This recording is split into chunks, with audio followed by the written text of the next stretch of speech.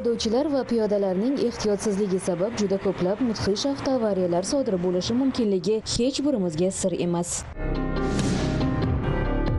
Aynan mana shunday baxtsiz hodisalarning oldini olish maqsadida qoidabuzar piyodalar bilan profilaktik tadbirlar o'tkazildi.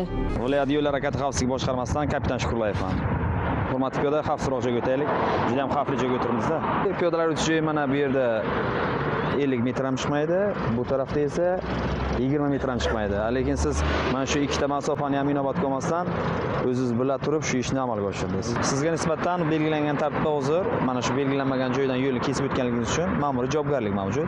Shuning uchun sizga nisbatan biz hozir ma'muriy javobgarlik to'g'risidagi kodeksni o'sha belgilangan moddasiga asosan ma'muriy bayonnoma rasmiylashtiramiz. O'zingiz istamagan holatda shunday xatoga yo'l qo'ydingiz. Shunday bo'libdi. Shunday xatoga yo'l qo'ydingiz. O'ylaymanki yosh bo'lmaydi. Bo'lmaydi. Rahmat. Bahonalar juda ko'p ammo ushbu vajlar o'tgan vaqt bo'lib o'tgan hodisa va yo'qotilgan insonlarni qaytara olmaydi.